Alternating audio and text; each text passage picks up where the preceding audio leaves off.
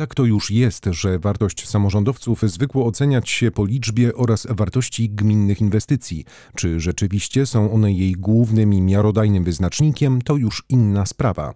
Coś tam jednak o kondycji czy kierunkach rozwoju danej miejscowości mówią, czasem nawet całkiem sporo. Wykorzystując przełom roku, zapytaliśmy więc prezydenta Legionowa, jaki będzie on dla miasta właśnie pod względem inwestycyjnym, czy raczej jaki ma być zgodnie z przyjętymi w ratuszu planami. Najważniejsza inwestycja miasta to oczywiście tunel, e, bo mamy tam sporo dofinansowań zewnętrznych, które są e, określone w czasie. E, mamy też bardzo bogatego mieszkańca, sąsiada, który powiedział, że zrobi absolutnie wszystko i robi absolutnie wszystko, żeby tę inwestycję storpedować, bo dla niego w ogóle ani przejazd, ani tunel nie jest potrzebny. No ale jest tam duże dofinansowanie z kolei, jest tam ostatnio przyznane 4 miliony złotych z budżetu województwa mazowieckiego. Jest oczywiście potrzeba komunikacyjna, żeby takie rozwiązanie dla samochodów osobowych, dla pieszych, e, dla rowerzystów e, wybudować.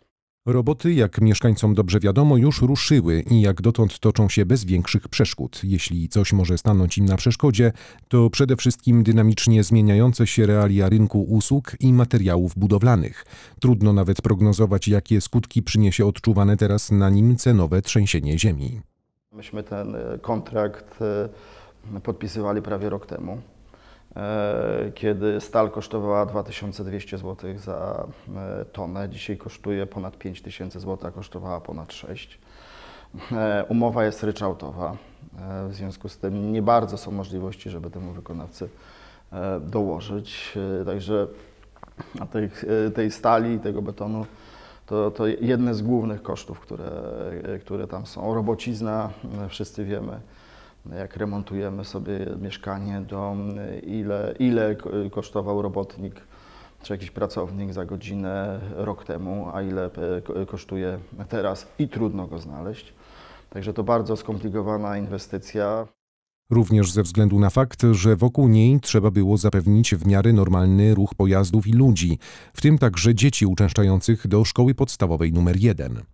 To jest duża ilość e, przekładek różnych mediów, to jest spowolnienie ruchu, czyli zmiana komunikacji właściwie kolejowej w całej Polsce, no bo tutaj jadą pociągi od e, Krakowa e, do, do Gdańska, do Gdyni i to powoduje, że, że to trzeba uzgodnić w skali całego kraju i zgrać to wszystko. Zgrać to wszystko jeszcze z pogodą. To, to, to jest naprawdę są różni gestorzy sieci i nasze PWK, ale też i e, kilka spółek kolejowych i PKP e, Energetyka i Informatyka i Polskie Linie Kolejowe i te spółki, które je operują na, na, na tych torach. Także bardzo, bardzo skomplikowana inwestycja, torpedowana przez niektórych mieszkańców, którzy tam e, po sąsiedzku mieszkają, chcieliby mieć zamkniętą ulicę Kwiatową, żeby tylko oni po niej jeździli. No ale to typowe, wszyscy chcemy jeździć dobrymi drogami, mieć fajne rozwiązania, ale nie, żeby nie było e, to zbyt blisko e, nas. Innym zadaniem, na które miasto skutecznie aplikowało ośrodki zewnętrzne, jest budowa nowej siedziby ośrodka pomocy społecznej, z konieczności działającego dotąd w warunkach, które nie zapewniają komfortu ani jego pracownikom, ani interesantom.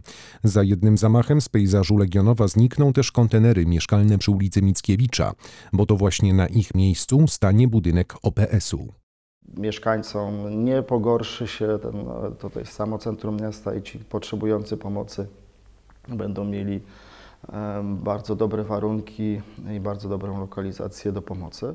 Dziś bez udziału pieniędzy zewnętrznych samorządom jest bardzo trudno realizować poważne inwestycje. Dlatego, gdy tylko udało się pozyskać kolejne dofinansowanie, w Legionowskim Ratuszu zapadła również decyzja o przebudowie dwóch ważnych węzłów komunikacyjnych na osiedlu Młodych i przy ulicy Sowińskiego. Opodal też będziemy budowali e, rondo przy ulicy Krasińskiego tam jest bardzo dużo wypadków komunikacyjnych. E, może nie ma takiej jakby potrzeby ze względów sprawności ruchu, ale ze względów bezpieczeństwa to absolutnie te rondo tam jest niezbędne e, i też w przyszłym roku będziemy je realizować. No jest jeszcze kilka ulic, pewnie kilka przestrzeni publicznych, E, mamy rezerwę na inicjatywy lokalne, będzie realizowany budżet obywatelski. E, I mimo wielu niewiadomych, e, będziemy starali się gdzieś tam tych pieniędzy na, na zewnątrz szukać. Nie pomaga w tym niestety polityka polskiego rządu, a mówiąc wprost, bardzo szkodzi. Mimo to samorządowcy mają nadzieję, że politycy się w końcu opanują i przestaną dążyć do zaogniania konfliktu z unijną wspólnotą. Z niepokojem obserwujemy na ten jakiś taki chocholi taniec Polski z, z Unią Europejską, i który powoduje, że te pieniądze właściwie we wszystkich krajach e, albo w przytłaczającej większości te pieniądze unijne są już uruchamiane, a w Polsce i chyba na Węgrzech nie.